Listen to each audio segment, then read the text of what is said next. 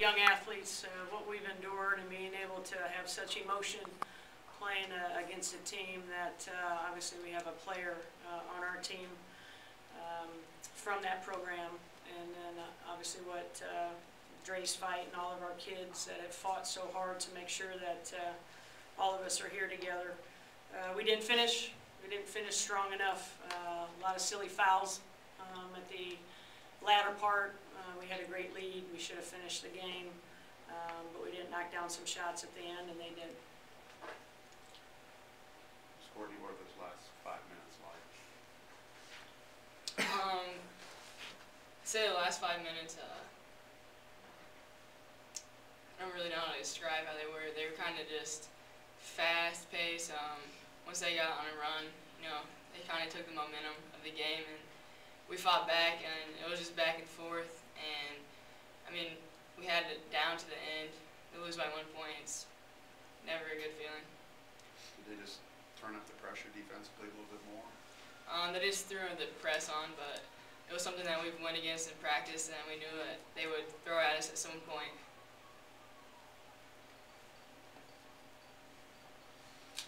Coach, what were you hoping to get on the last, on Courtney's last drive to the basket there and then, you know, the no call toward the end?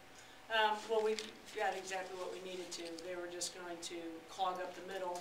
Uh, they weren't going to let any other guard touch the ball and make somebody else. And when you have eight seconds, we're just trying to get that high on ball screen for Courtney to hopefully go through traffic. And if people were open, but the guards stayed. Right. Um, and we got a shot. We had a great rebound, and we had a great putback. Ms. Brady, just talk about, you know, you got the eleven point lead, what things finally started doing right, uh, in that middle of the second half? for you Um, I guys? Think we just executed um, there towards the middle of the second half. We just started executing, um, running things through, through, um, running through plays and getting uh, good looks at the basket. And I think our defense turned up a little bit too, and, um, and we just stopped doing that. Can you just talk about the job that Alex did? It seemed like gave you a big boost on, inside, especially in the second half. That's what Alex needs to do for us. I mean, that's what she's capable of doing.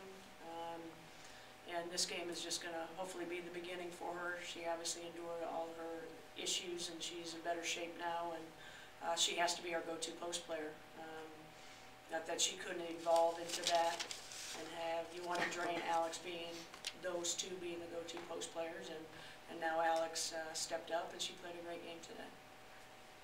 Alex, just talk about what it was like inside there, with all the long arms, all the long bodies you had to deal with. It was physical. It's what you expect from an ACC team. So it was just a lot of physicality, um, long arms, and basically that's about it. Alex, you played twenty-seven minutes, eleven points, four rebounds. Do you feel like this was a a turnaround game for you, maybe being a, playing a good competition and getting in there and playing that time and producing like that?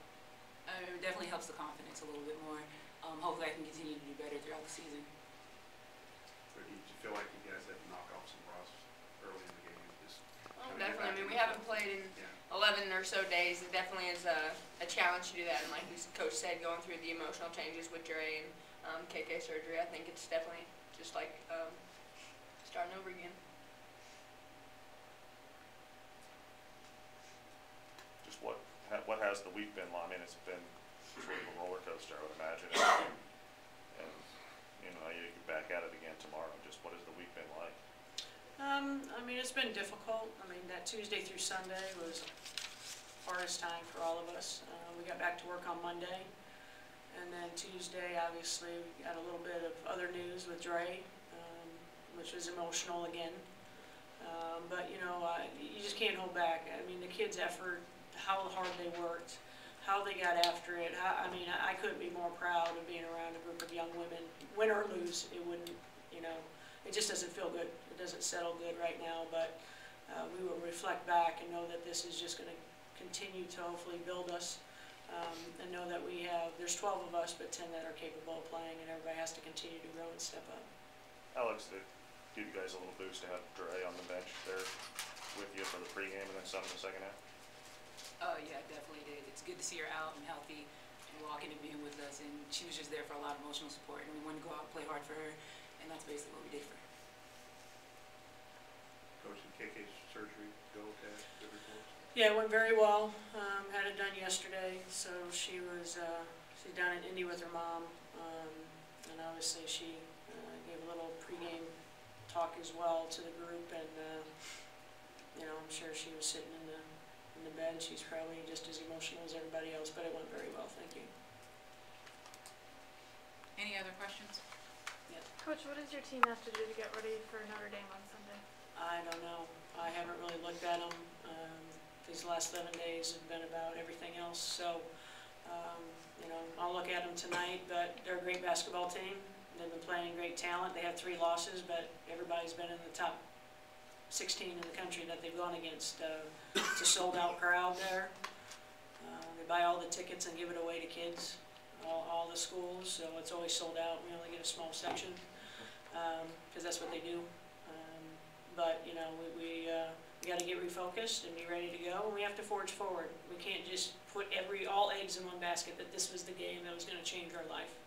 Uh, our life was changed last week, and now we just gotta keep moving forward. Anything else?